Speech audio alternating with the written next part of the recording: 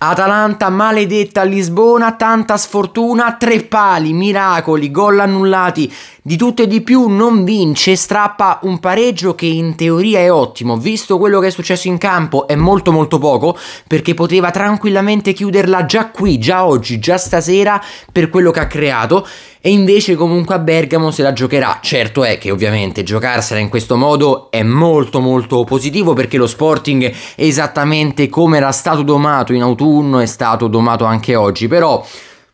Sapete com'è, no? Una partita europea può accadere qualsiasi cosa, parte favorita, sia perché è più forte secondo me, che perché ha dato l'impressione di essere superiore, che perché gioca in casa, però con la dovuta attenzione, ecco, va affrontata questa gara e soprattutto in un periodo così intenso come calendario era molto importante comunque mettere quantomeno un mattoncino, ecco, sul muro del passaggio del turno. Però prima di parlarne iscrivetevi, like e commento qui sotto e seguitemi anche sugli altri social che è fondamentale, link in bio. Quali altri social? TikTok ed Instagram, molto molto facile. Detto ciò, allora, vi ripeto, tanta sfortuna, veramente una sfortuna immane, immane, l'Atalanta prende, prende tre pali, ne prende due in letteralmente un minuto, un palo interno, un bel palo da lontano.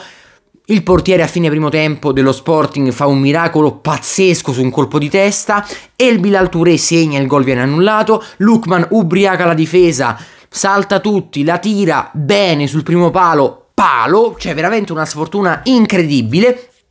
anche lo Sporting eh, ne prende uno a dire il vero, però certo lo Sporting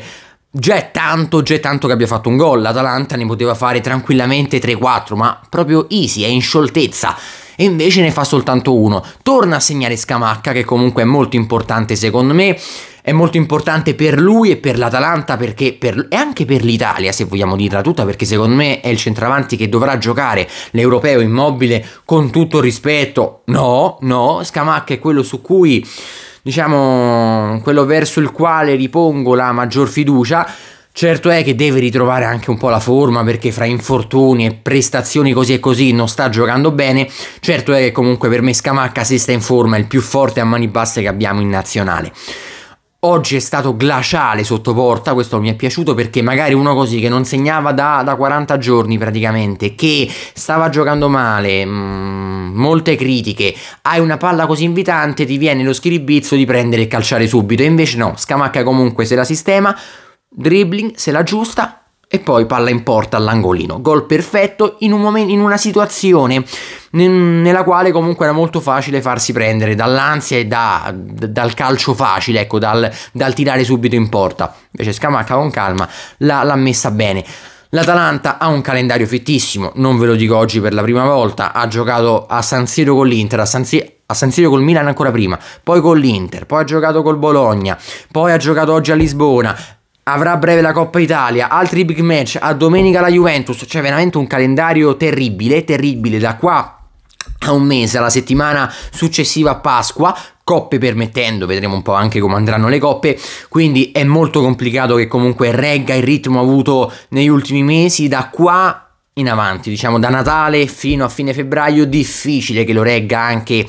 a marzo e i primi d'aprile. Tutto è possibile ovviamente, è per me la squadra più forte di quelle che stanno lottando per il quarto posto, ma perché vi dico che secondo me non ci arriverà alla fine quarta? Perché banalmente penso andrà avanti in Europa League, quindi penso batterà lo Sporting, secondo me il passaggio è alla portata, non è facile, vi ripeto, occhio a sottovalutarli perché comunque nonostante oggi sia stata manifesta la superiorità dell'Atalanta, occhio a prendere sotto gamba questa squadra qui che comunque di partite europee ne gioca tante all'anno, che è lo Sporting